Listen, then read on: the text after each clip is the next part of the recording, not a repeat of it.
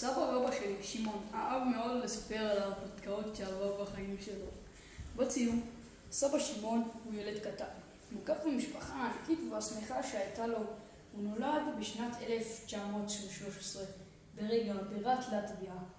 בריגה הייתה אוכלוסייה גדולה, בתי ספר ומוסדות יהודיים.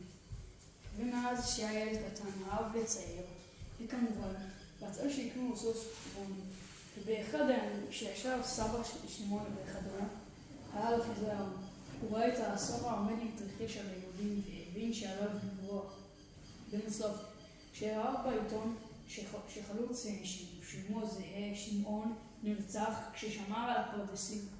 סבא שמעון החליט שעליו לצאת ולהחליף אותו בשמירה על פרדסי ישראל. סבא רבא שמעון היה ציוני, למד עברית וחלם לעלות לארץ ישראל.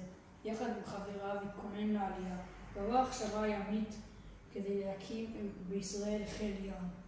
אחד הימים הגיע זאב ז'בוטינסקי, ראש בית"ר, לראות את הנערים על הספינה, וסבא, שמעון, יכל ללחוץ את ידיו. סבא שמעון, שהכניס את ז'בוטינסקי, שמע איתו נאום בריגה, ובסוף הנאום כולם שרו יחד את התקווה. זה היה רגע מרגש. סבא שמעון יצא למסע ארץ ישראל, הוא הלך ברגל ונסע בטרמפים דרך צרפת ואיטליה.